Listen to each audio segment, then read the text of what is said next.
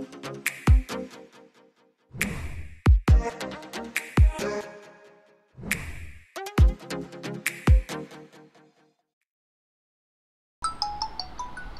राजू भैया से बात हो रही है? कौन बोल रहा है? भैया मैं शाम बोल रहा हूँ। हाँ शाम कैसे हो? भैया बहुत बुरी हालत है बहुत बुरी हालत है। एक साल हो गया ग्रेजुएशन करे हुए नौकरी मेरे को मिल नहीं रही है। कैट दिया था उसमें पचपन परसेंट आई कॉलेज को ही मिला नहीं। इस चक्कर में बंदी भी छोड़ के भाग गई। अब करूँ तो करूँ क्या?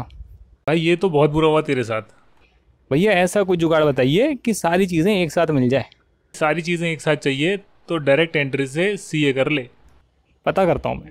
एक काम कर सीए योगेश वर्मा से बात कर। सी ए योगेश वर्मा को कॉल कर दिए ना। हाँ जी सर नंबर दीजिए आप। नंबर लिख ले। ठीक है। ए सी ए योगेश वर्मा कौन है भाई? लगाता हूँ कॉल लगाता हूँ भाई।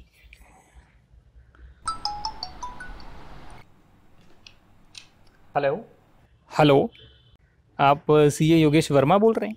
हाँ बोल रहा हूँ। सर ये डायरेक्ट एंट्री के बारे में पूछना था। अच्छा ग्रेजुएशन में कितने परसेंट थे आपके? फिफ्टी फाइव परसेंट आए मेरे। हाँ बस फिफ्टी फाइव परसेंट चाहिए होते हैं हो जाएगा।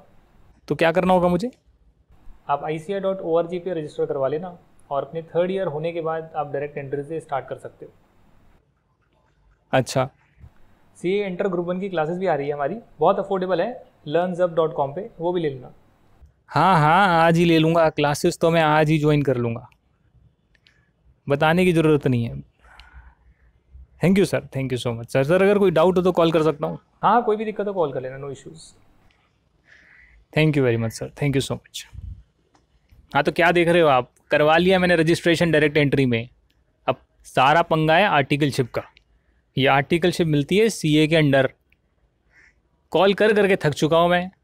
ये देखो, एक कॉल और लगाता हूँ। हेलो ऐसा ईयर इन कंपनी से बात कर रहे हैं। सर आर्टिकलशिप के लिए कॉल किया था। आई सी में रजिस्ट्रेशन करवा लिया? हाँ जी सर, अभी रजिस्टर करा लिया आई सी में। इंटरमीडिएट क्लियर हो गया? नहीं सर, मैं डायरेक्ट एंट्री से हूँ। रेफरेंस है आपकी? रेफरेंस तो नहीं है सर मेरी। सॉरी हम डायरेक्ट एंट्री वालों को नहीं लेते। क्या भाई रेफरेंस के बिना ट्रेनिंग नहीं मिल रही है। आप बताओ, मैं करूँ तो करूँ क्या? एक और कॉल आ रहा है, एक मिनट हेलो हाँ शाम बोल रहा हूँ। या या या शाम शाम। ओके या ma'am I I will be there मैं आ जाऊँगा मैं ठीक है मैडम फाइनली एक फर्म से कॉल आया चलिए देखते हैं इंटरव्यू कैसा रहता है। एक बंदा चाहे कितना भी बदमाश हो इंटरव्यू में सब शरीफ बन के जाते हैं। बेटा डॉक्यूमेंट्स की फ़ाइल ले ली? हाँ मम्मी डॉक्यूमेंट की फ़ाइल मैंने ले ली है। अब चलता हूँ इंटरव्यू के लिए। गुड मॉर्निंग सर मेरा नाम श्याम है। Sir this is my resume okay tell me about yourself ji sir मेरा नाम श्याम है और सर मैंने दिल्ली यूनिवर्सिटी से अपनी ग्रेजुएशन करी है। और पिछले साल ग्रेजुएशन के बाद मुझे सी कोर्स का पता लगा। तो मैंने अभी आई में रजिस्टर करा लिया है। यहाँ क्यों ज्वाइन करना चाहते हो? मुझे आपकी फ़र्म से कॉल आया।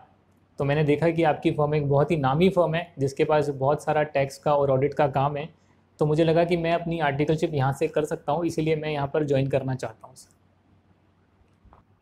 यहाँ पर बारह बारह घंटे काम करना पड़ता है। हाँ सर कर लूँगा मैं। बारह घंटे में काम कर लूँगा सर एग्ज़ाम की छुट्टियाँ सिर्फ़ दो महीने की मिलेगी। सर कोई बात नहीं एग्ज़ाम की छुट्टियाँ नहीं मिलेगी तो भी कोई बात नहीं। मुझे सर काम सीखना है और मैं काम सीखने के लिए यहाँ पर आ रहा हूँ। रिज्यूमे तो ठीक है, हम सेलेक्ट भी कर सकते हैं आपको बट आपको ट्रांसफ़र नहीं मिलेगा। सर स्टाइपेंड कितनी मिलती है? स्टाइपेंड हज़ार रुपये मिलती है। हज़ार रुपये काम चाहिए बारह घंटे। ट्रांसफ़र दोगे नहीं।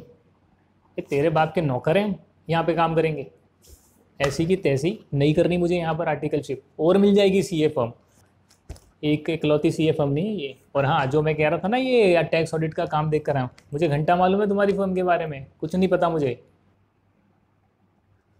कोई बात नहीं, वैसे भी यहाँ पर कर कर मैं कोई ढंग का सी ए बनूँगा नहीं। नमस्कार।